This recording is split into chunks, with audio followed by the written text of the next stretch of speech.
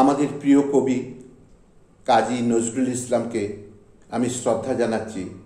কবির একটি বিখ্যাত কবিতা অভিশাপ পাঠ করার মাধ্যমে।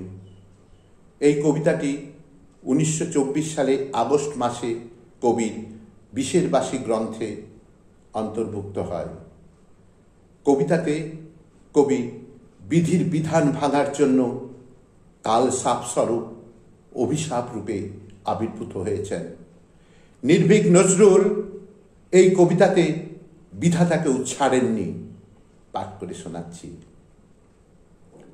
আমি বিধির বিধান ভাঙিয়াছি, আমি এমনই শক্তিমান, মম চরণের তলে মরণের মার, খেয়ে মরে ভগবান আদি ও অন্তহীন, আজ মনে পড়ে সেই দিন প্রথম যেদিন আপনার মাঝে আপনি জাগিনু আমি, আর চিৎকার করি কাঁদিয়া উঠিল, তোদের জগৎ স্বামী, ভয়ে কালো হয়ে গেল আলো মুক্তার ফরিয়াদ করি গুমরি উঠিল মহাহাকার ছিন্ন কণ্ঠে, আর্তকণ্ঠে তোমাদের ওই ভীরু বিধাতার আর্তনাদের মহাহাকার যে বাঁচাও আমারে, বাঁচাও হেমোর, মহান বিপুল আমি, হেমোর সৃষ্টি অভিশাপ মোর, আজি হতে প্রভু, তুমি হও মম স্বামী।